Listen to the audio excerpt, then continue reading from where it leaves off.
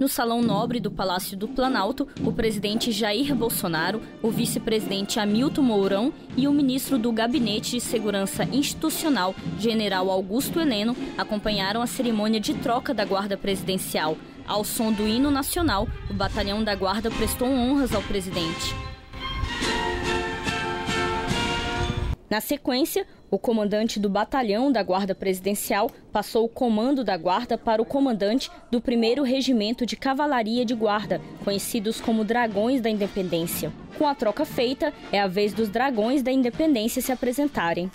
Tenente Coronel Braga, comandante do 1 Regimento de Cavalaria de Guarda, Dragões da Independência.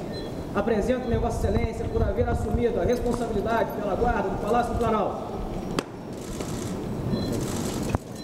A troca da guarda presidencial é feita a cada seis meses. Quem assume a guarda fica responsável pela segurança do Palácio do Planalto, da Alvorada, do Jaburu e também da residência oficial da Granja do Torto.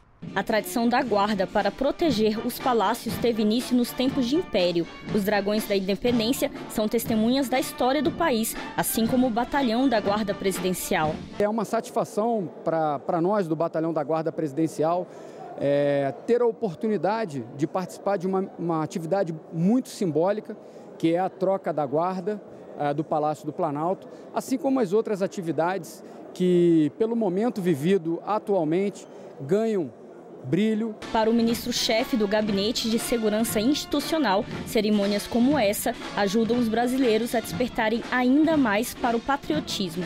Isso é uma cerimônia tradicional e que envolve principalmente a mística que está retratada nos muros da maioria, da maioria dos quartéis do Exército, que é a guarda morre, mas não se rende.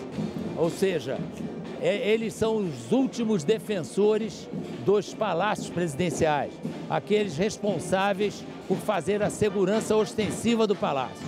Então, para esses soldados, é uma cerimônia muito importante, que eles são investidos dessa responsabilidade.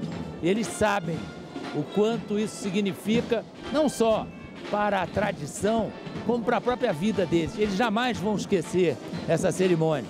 Daqui a muitos anos, eles vão estar se lembrando desse dia em que participaram dessa festa.